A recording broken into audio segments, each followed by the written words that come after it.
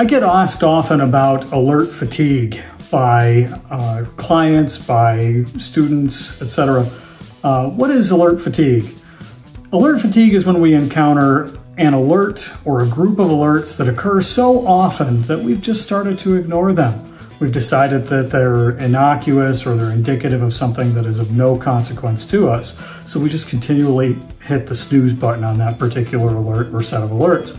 Now, you can compare this if you've ever owned an old car that had a check engine light that, you know, often appeared for uh, a faulty gas cap or something that you had decided long ago was just not important enough to address. Uh, and you just started ignoring that check engine light. You drove, the car drove fine, made a little noise every once in a while, but we're going to continue going. Uh, just like a check engine light you're ignoring, when you hit snooze on an alert, you might be missing out on good, key, actionable information. And it might be to your detriment. You might miss something that you might have headed off a, uh, a major incident or outage or, or issue if you'd seen uh, that particular alert.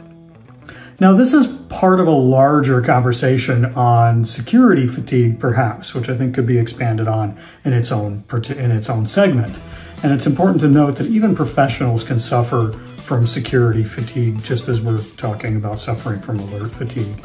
And so I would say to, back to the industry, back to those professionals, don't measure or alert something, alert on something just because you can, just because we can measure something or just because we can create alerts on something doesn't mean that we should be cluttering up our, our feed with those particular things.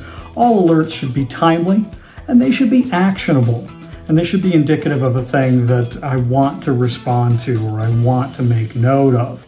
And so I would leave you with this existential question. If we're inclined to hit snooze or ignore an alert, should we even have it? Is there reason to have that particular alert? I'll let you noodle on that. Until next time, thank you.